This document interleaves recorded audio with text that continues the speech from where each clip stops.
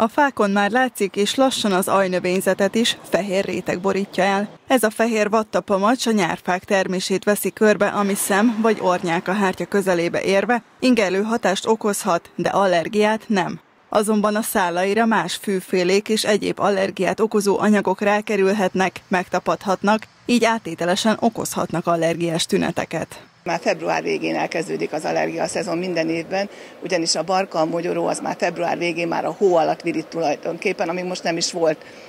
Sajnos azt kell mondjuk, hogy mivel a tavat olyan hirtelen elmúlik és átmegy rögtön a tél a nyárba, így ránk zúdulnak a pollenek, úgyhogy nagyon sok virág növény virít most, és nagyon erős a szezon. A tüdőgyógyász úgy fogalmazott, az allergiás beteg újra termeli magát, a genetikai hajlam ugyanis öröklődik. Ha egy gyermeknek az egyik szülője allergiás, akkor 30 százalék, ha mindkettő, akkor 60 százalék a valószínűsége, hogy pozitív lesz a gyerek tesztje is. A szakemberek szerint azonban vannak olyan praktikák, amelyekkel jelentősen csökkenthetőek az allergiás tünetek. A legenyhébb tünetek esetén megpróbálhatja vény nélkül kapható patikai készítményekkel ö, kezelnie magát a beteg, illetve mindenféle házi praktikával, pollenszűrők használatával. Vannak már olyan ö, nem redőnyök, szúnyoghálók, ami szintén pollenszűrő, gyakori hajmosás, szakálmosás, nem teregetjük ki a ruhát, tehát csökkenteni kell mindenképpen a pollen terhelést, mert a pollen váltja ki magát a tüneteket. Tehát ezekkel a praktikákkal, illetve vény nélkül kapható gyógyszerekkel elkezdheti kezelni magát a beteg,